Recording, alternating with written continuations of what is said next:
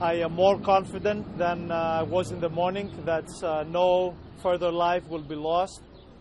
And um, we've taken some of the patients back to the operating room to further address their wounds, but uh, they're all hemodynamically stable. Some of them have uh, woken up completely, and I've uh, talked to them, and they're with a clear mental status. So, um, overall, an optimistic message at this point.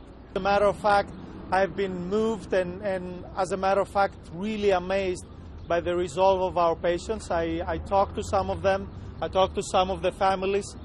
They're really amazing people. Uh, some of them woke up today with no leg, and they told me that they're happy to be alive. They thought, uh, as these things happened, they were. They, they, told me that they thought they would die as they saw the blood spilling out. Uh, they thought that they would lose their life right there and then. And as they woke up today from surgery and they saw that they're not dead, they feel extremely thankful and some of them told me that they feel lucky, and, and it's almost a paradox to see these patients without an extremity to wake up and, and feel lucky, but that talks about our patients. There are one or two patients who arrived to us in very, very critical condition. I am convinced that if they'd spent another just a few minutes at the scene and delayed getting to the hospital, they would, um, they would not be alive today.